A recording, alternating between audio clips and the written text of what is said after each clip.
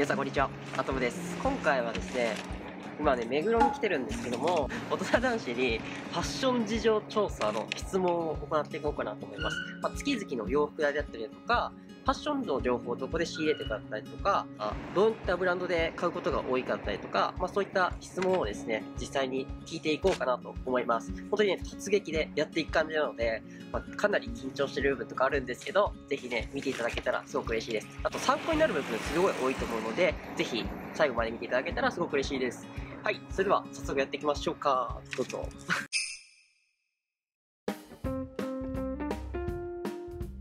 じゃあ今日はありがとうございます、はいじゃあよろしくお願いします。よろしくお願いします。えっと、質問なんですけど、はい。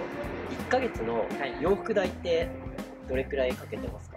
洋服代平均ですと、まあ、5万円ぐらいかな。5万円ぐらい。買っちゃう月は10万円とかにしちゃったりとか。そういう感じですね。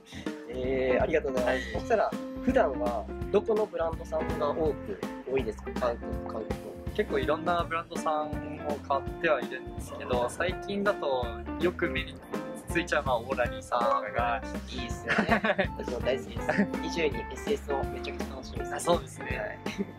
ありがとうございます、そしたら次はファッションの情報ってはい。いつもどこで仕入れることが多いですか？そうですね。私の場合はメンズファッチさんとか、あとは洋服屋さんに実際行って食の店員さんとも話して、はい。えとかってところで店員さんの服装とかをまあ真似したりっていうのが多いかななるほど。ありがとうございます。はいすごい参考になりました。えっ、と、20代の男性の方です。あ本日はありがとうございました。ありがとうございます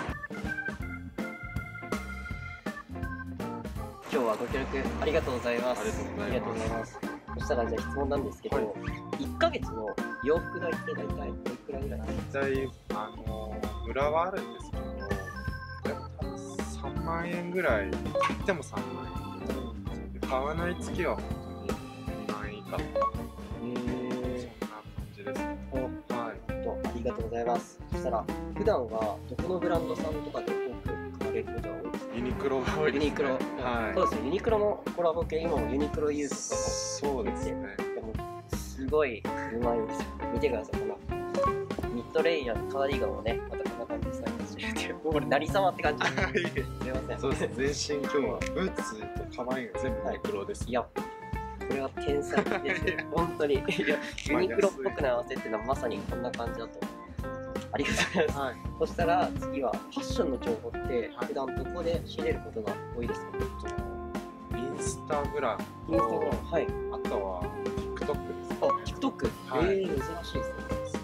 誰誰が誰が多いですか？名あでもインスタだと小山氏です。あめちゃくちゃ YouTube あ YouTube そうです。YouTuber です。ねはい。はい、とか基本的にプチプラブランドで固めてでなんかブランドを買うとかねなるほど感じなプチプラも混ぜつつうまくはちょうどいいですい そうです。ね僕も今ユニクロ U といや超可愛いちょこちょことメスを合わせみたいな感じがバランスがちょうどいいすいませんじゃあ今日はありがとうございました。あこちらこそ。20代の男性の方でしたはい。ありがとうごはい、あざいました、りがとうございます。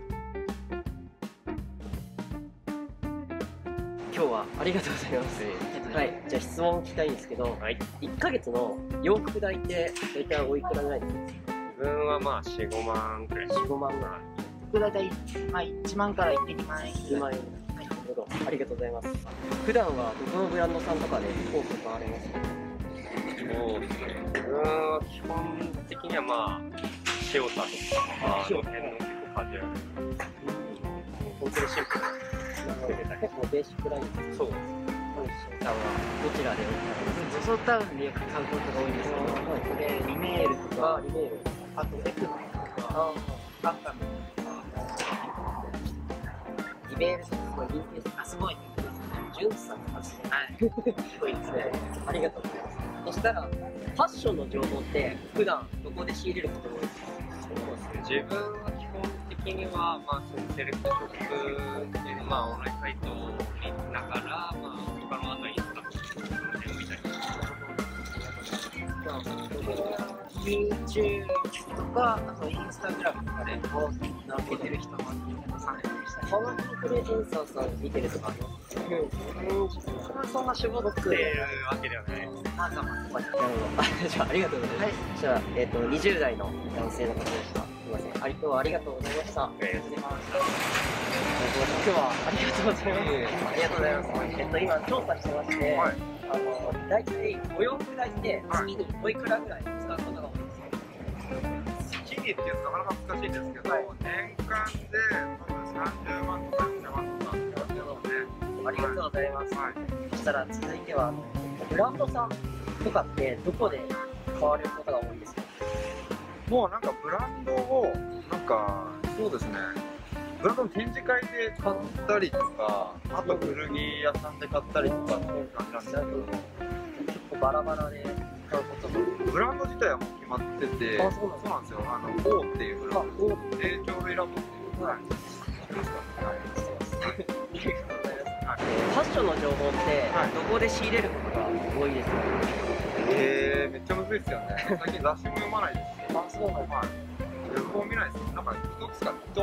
あ人を見てはい。ファッションを参考にする友達とか、あミュージシャンとか、まだおしゃれな人見て、はい。すいませんじゃあ今日はあいえいえ、ありがとうございます。お忙しい中ありがとうございます今日はありがとうございます。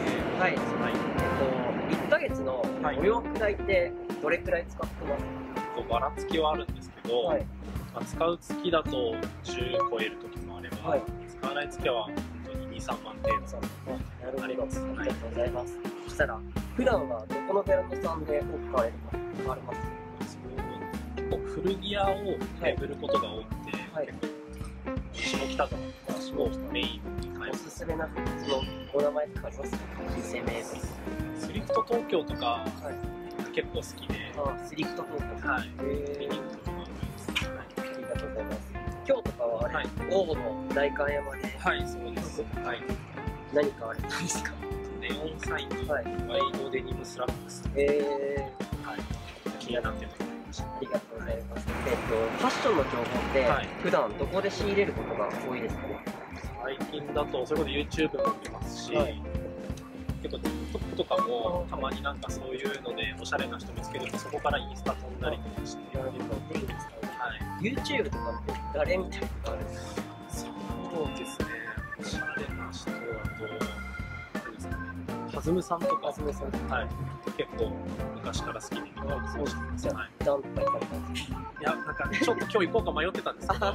これからもしかしたら行くかもしれないです。いいですね。ありがとうございます。とかは、はいなんか誰々とかあります？最近のおしゃれだと思ったのは、ゆずさんっていう誰ああ、いい人はい。はい。えー、すみません。ありがとうございます。えっと、24歳の男性の方って はい。ありがとう、ありがとうございました。こちらこそありがとうございます。はい、いかがだったでしょうか。オープニングと一緒の場所なんですけども、え今回の、まあ、質問コーナーじゃないですけど、それが参考になったら、えすごく嬉しいです。なんか外でやってるんですごい緊張してるんですけど、はい。で、今回は固定の質問で聞いてたんですけども、まあ、次、次回以降もなんかこういった調査じゃないですけど、やりたいなと思ってるので、視聴さんの方たちで、なんかこういったこと聞いてほしいだったりだとか、あるいはこう女性に聞いてほしいだったりとか、まあ、そういったところがもしあったらですね、コメント欄で教えていただけたらすごく嬉しいです。はい。次回以降もですね、またやっていこうと思いますので、ぜひお楽しみにお待ちいただけたらすごく嬉しいです。はい。今回はこんな感じで終わりたいと思います。最後までご視聴いただき、ありがとうございました。以上、おとむでした。